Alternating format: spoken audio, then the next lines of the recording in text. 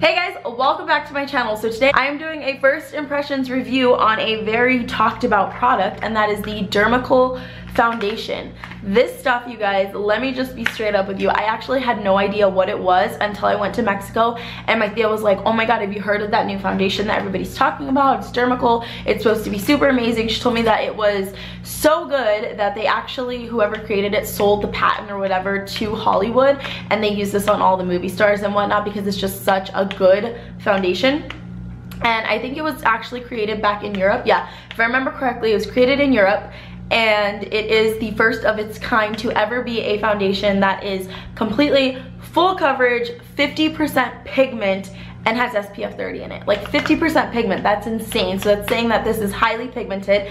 This is what it looks like on my skin, you guys. This is the foundation right now that I'm wearing. I actually am really, really, really, really satisfied with it. And I got the Dermacol foundation online on um, Groupon for literally like, I think it was like 12.80 or something. It was like $13 on Groupon. And what was also really cool is that the first one they sent me was not my color. I got 209 and it came out extremely ivory. So I told them, yo, it's not my color. Sorry, I need this one instead. And they gave me 218 for free. So I have both of these here and I'm going to try it out for you guys. Um, I would suggest that if you're going to purchase these, definitely, definitely really take a look at the colors that they have because the 218 actually looked like it was gonna be a little bit darker than what it was and it came out a little bit lighter. You can't really tell here because I have all my other stuff on, but in the video you'll see what I mean. Um, so definitely take a look at the shades and really try to figure out what is best for you. I know it's really hard with just pictures. If you guys want to see my honest review on the Dermacol Full Coverage Foundation, then please keep on watching. Okay, so I want to do primer on one side and then no primer on the other side just because I want to show you guys fully what it looks like with and without primer. And then I'll kind of just go in a little bit on my first impressions. So the color that I'm going to be using today, and I really hope that it's my color, is um, 218.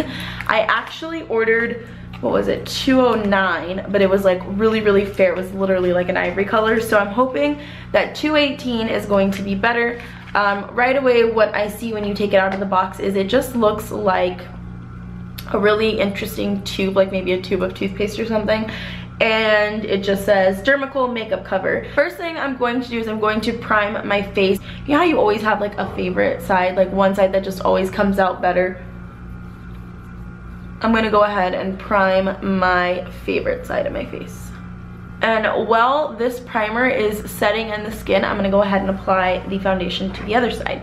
So what you have to do when you first get it is you have to see, I don't know if you guys can see it like already coming out like crazy because of the heat. The heat in Arizona makes everything like explode when you open it. But you have to get it, you have to put the lid on backwards to pop it, like pop the little seal and then you're good to go. So I'm gonna go ahead and just grab that little dot that came out of there and I'm going to put it on my skin and just dot it on there.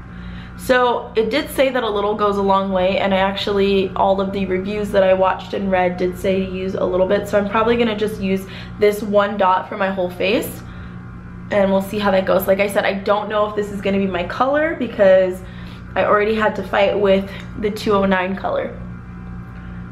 So let's just start patting it into the skin. Right away, what I'm actually noticing is it's not something that you want to let sit on the skin too long because it doesn't look like it's wanting to blend out as easily, but we will still go in there and just start blending it out. Okay, so this one is just a little bit light for my skin, which I guess is okay. It could be one that I might wear in like the winter or it could be one that I just have to really warm up. So this is just the one layer, okay? And I'm noticing that it is, I don't know, it like blends out smooth, but I still see a lot of my imperfections that I have on my face, you know? Like, is this really gonna work?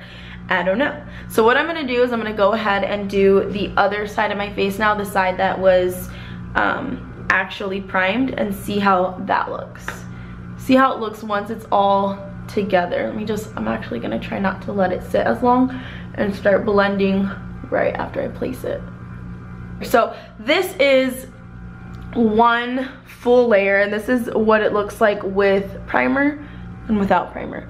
What I'm noticing is it does give very nice like even even coverage but I don't know about the whole like extremely full coverage foundation I feel like I don't know about that. So what I'm gonna do is I'm going to go ahead and take some more of the foundation and just put it over my problem areas and see how that looks.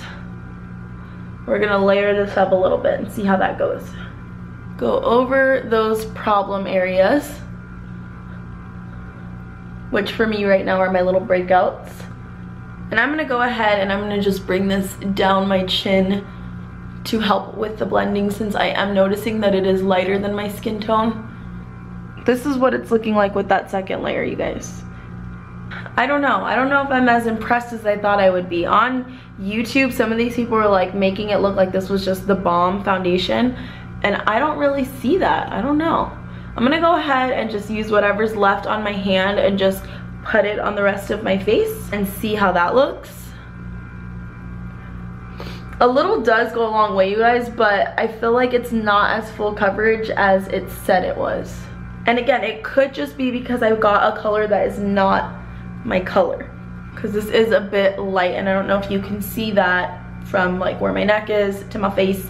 It's a bit light but let's talk about how it feels on the skin. There's no powder or anything on it, it's just on my skin. It feels really light, which is a huge plus for me because I hate when you try to find full coverage foundations and they just feel so heavy on the skin. That's one of my worst things ever. I hate feeling like I have so much foundation on my skin. And right now this doesn't feel at all like I have like a crap ton of foundation. I feel like I could give somebody a hug and it's not gonna like transfer onto their shirt, you know what I mean?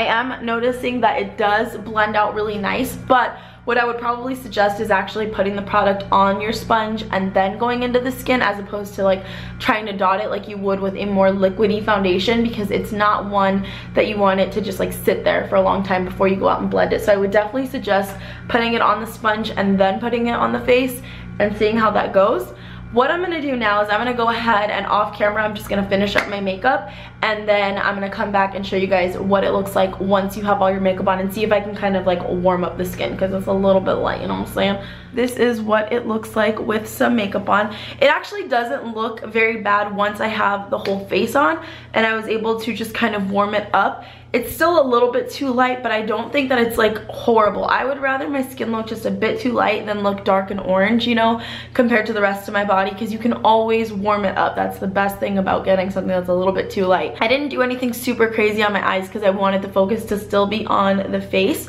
but you guys can tell me what your final thoughts are. What I want to say, or I will tell you what my final thoughts are and you guys can tell me what your opinions on this is. Um, what I will say that I noticed when I was doing the rest of my face and it had time to sit and I wasn't in these harsh lights was that it looked really really really pretty and natural like the foundation itself looks so natural on the skin it was amazing you guys and i'm even looking at it now and i'm like holy shit this looks so nice I'm like, this is nice. Like, it doesn't look creasy when you like smile. I get that a lot where um, right here will crease when I smile because I like to smile a lot. Mm -hmm. um, but that will usually crease. I didn't put all over powder.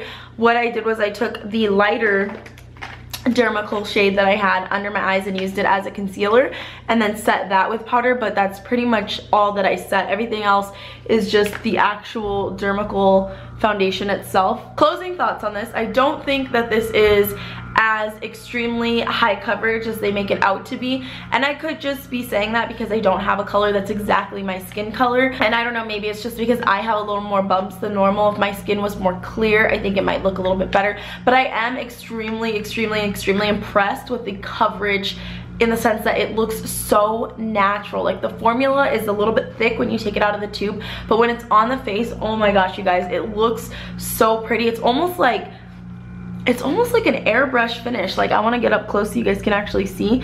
It's literally almost like an airbrush finish, but it's not anything that looks cakey. It's not, I, I, don't know how to explain it to where it doesn't sound like I'm just like, this is the best thing I've ever tried. Because it's not. I mean, I've obviously tried other foundations that have blown my mind, but this just looks so pretty and so natural on the skin. To me, it doesn't look like it's a full coverage crazy um, foundation. To me, it looks a little bit more natural and really pretty. If you put on just a light layer, it's gonna do what it needs to do and not look cakey, which I love.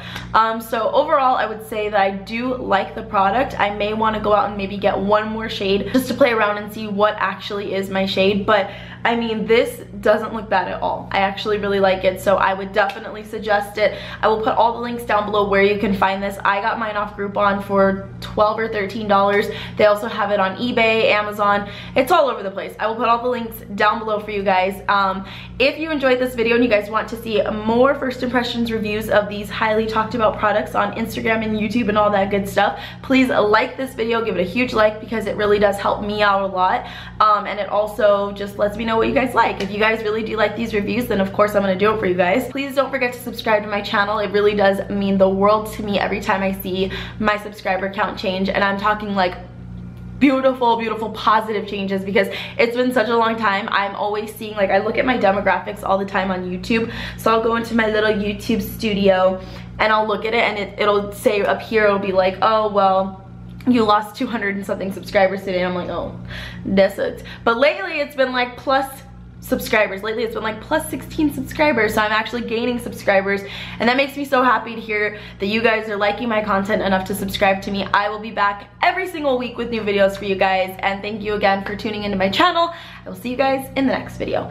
Bye! Bye, guys.